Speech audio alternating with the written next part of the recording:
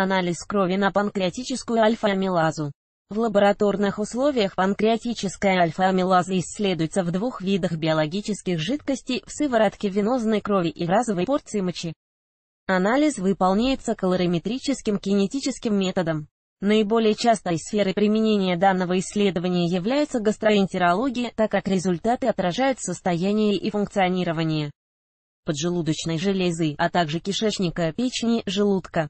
В урологии для оценки работы почек используются данные анализов на панкреатическую альфа-амилазу в крови и в моче.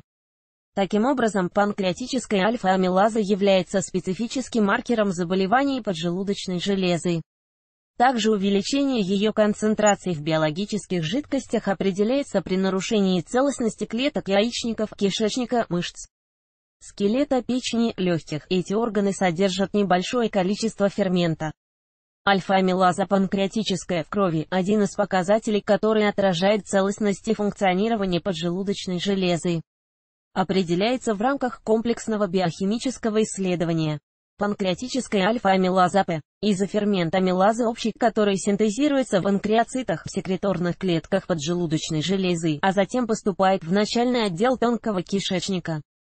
Основная функция – расщепление полисахаридов до мальтозы. В норме в крови обнаруживается небольшое количество панкреатической амилазы, а ее выведение происходит с мочой. При разрушении тканей поджелудочной железы активность этого фермента в сыворотке и моче резко увеличивается. Альфа-амилаза панкреатическая, фермент пищеварения, одна из разновидностей амилазы, вырабатываемая поджелудочной железой. Исследование уровня амилазы панкреатической широко применяется в гастроэнтерологии и проводится вместе с анализом на липазу, амилазу. В сыворотке, общую и в моче. Результаты используются для диагностики и мониторинга эффективности терапии патологии поджелудочной железы, в особенности в послеоперационном периоде, а также для выявления заболеваний слюнных желез, бронхов и яичников. Материалом для анализа является венозная кровь.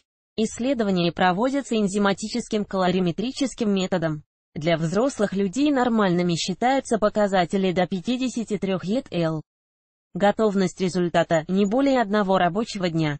Показания и основным показанием для назначения теста на панкреатическую альфа-амилазу в крови является острый или хронический панкреатит и другие патологии поджелудочной железы, приводящие к повреждению ее клеток.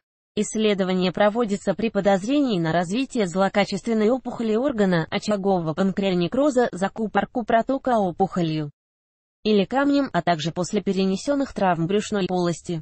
Результаты используются не только для первичной диагностики этих заболеваний, но и для мониторинга состояния пациентов в процессе лечения. Основанием для направления на анализ служат жалобы пациента на сильные абдоминальные боли, рвоту, слабость, головокружение, повышение температуры. В рамках комплексного обследования анализ на альфа-амилазу панкреатическую в крови показан при почечной недостаточности, макроамилазиями. После операции на почках, в том числе после трансплантации. Результаты интерпретируются в сочетании с данными теста на амилазу общую в сыворотке и моче, амилазу панкреатическую и моче и другими биохимическими показателями, отражающими особенности выделительной функции почек. Повышение концентрации ферментов в крови происходит при воспалении или нарушении целостности органов, расположенных рядом с поджелудочной железой. Поэтому анализ выполняется при остром аппендиците, прободении язвы желудка или кишечника, перитоните, разрыве аневризмы аорты, внематочной беременности, ее осложнениях, холангите, холестазе, гепатитах, различной теологии, непроходимости кишечника, муковисцидозе. Исследование панкреатической амилазы не назначается при состояниях с выраженным или полным отсутствием здоровых клеток поджелудочной железы на поздних стадиях рака после операции по удалению органа при хроническом прогрессирующем панкреатите. В этих случаях синтез фермента снижается или прекращается. Также данный тест не применяется для оценки обширности некротизации. Забор крови для анализа не может быть выполнен при патологиях свертываемости крови, состояниях с моторным или психическим возбуждением, выраженной анемии или артериальной гипотонии. Преимуществом теста на панкреатическую альфа-амилазу в крови является его высокая специфичность в отношении патологии поджелудочной железы. Забор материала его исследования не требуют применения сложного оборудования, процедура анализа выполняется в короткие сроки. Основное ограничение данного теста – недопустимость изолированной интерпретации полученных результатов. Для постановки диагноза и оценки состояния пациента в ходе лечения требуются данные комплексного обследования. Подготовка к анализу и забор материала. Биоматериалом для исследования является сыворотка, выделенная из венозной крови. Забор материала обычно производится в утренние часы, натощак. Последний прием пищи должен быть совершен не меньше, чем за 12 часов до взятия крови. За 30 минут нужно исключить курение, физические и эмоциональные перегрузки, за неделю прием алкоголя и лекарственных препаратов по возможности. Забор крови, как правило, выполняется из локтевой вены при помощи шприца или вакуумной системы. Пробирки плотно закрывают, помещают в боксы и отправляют в лабораторию. Перед исследованием из крови выделяют сыворотку. Выявление в ней уровня панкреатической альфа-амилазы выполняется кинетическими калориметрическими методами. По скорости реакции с субстратом оценивается активность фермента.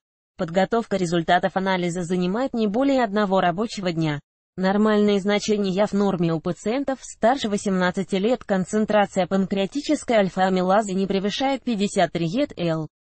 У детей первого года жизни этот фермент синтезируется в небольших количествах, референсное значение не более 8 ЕТЛ. До 10-летнего возраста нормальными являются показатели не выше 31 ЕТЛ, до 18-летнего не выше 39 ЕТЛ.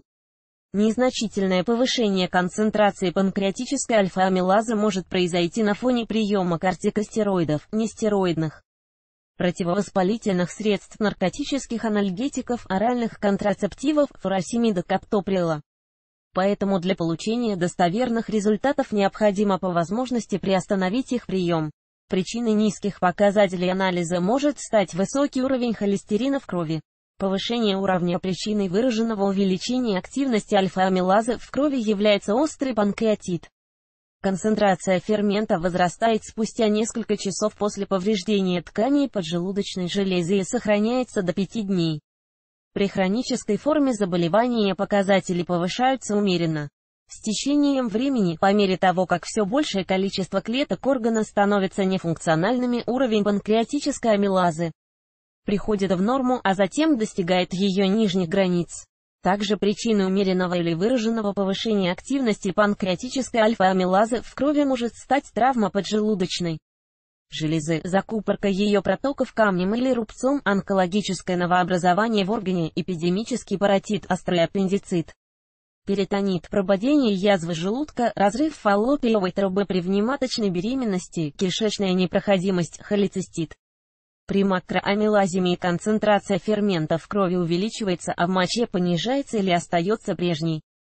При декомпенсированном сахарном диабете поджелудочная железа получает повышенную нагрузку, что часто приводит к выбросу панкреатической амилазы в кровоток.